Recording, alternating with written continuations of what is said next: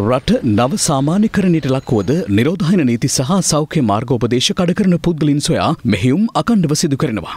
මෙම මෙහිුම්වලදී ඊයේ දිනත් බස්නාහිර පලාත අවරණය වන පරිදි මගී ප්‍රවාහන බස්රත එක්දහස් හතලිස් නවයක් පරීක්ෂාවට ලක් කෙරුණා. ආසන ධරිතාවේ ඉක්මවා මගින් ප්‍රවාහනය කළ රියදුරන් සහ සහායකයන් මෙන්ම මුව ආවරණ නිසියාකාරින් පැළඳ නොසිටි හාරසිතිස් දෙනෙකුට එරෙහිව එහිදී අවවාද කර තිබෙනවා. මේ අතර බස්නාහිර පලාතට ඇතුළු වන මාර්ග බාධක ධාතුනකදී රථවාහන හා පුද්ගල පරීක්ෂා කිරීම් ඊයේ දිනේද සිදු කරනු ලැබුවා. එහිදී අවසරයකින් තොරව බස්නාහිර පලාතට ඇතුළුවීමට පැමිණි වාහන අසූ දෙකක් සමග පුද්ගලයින් එකසේ හැට දෙනෙකු ආපසු හරවා යැවීමටද ක්‍රියා කර තිබෙනවා.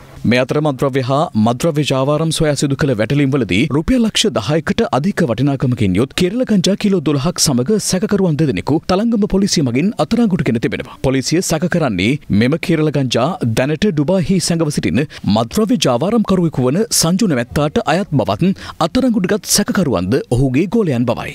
මේ අතර පොළොන්නරුව හිඟුරගොඩ නිවාඩු නිකේතනයක හිමිකාරණයක් ඇතුළු තිදෙනෙකු අයිස් මද්‍රව්‍ය ග්‍රෑම් හතරක් සමග හිඟුරගොඩ පොලිසිය මගින් අතරංගුට ගනු ලැබුවා. මෙම මද්‍රව්‍යාල විකිරීම සඳහා අසුරමින් සිටියේදී මෙම සැකකරුවන් තිදෙනා අතරංගුටගත් බවයි පොලිසිය කියා සිටියේ. මේ අතර දෙමටගොඩ ආරාමපාරයේ නිවසක් පරීක්ෂා කිරීමේදී එහි තිබී අයිස් හා ගංජා සමග ඥාති සහෝදරයන් දෙදෙනෙකු කොළඹ අපරාධ කොට්ටාශය මගින් අත්තරංගුට ගෙන තිබෙනවා. මද්‍රව්‍යාල විකිරීමෙන් උපයාගත් රුපියල් 87 මුදලක්ද ඔවුන් සතුව තිබියදී සොයාගෙන තිබුණා.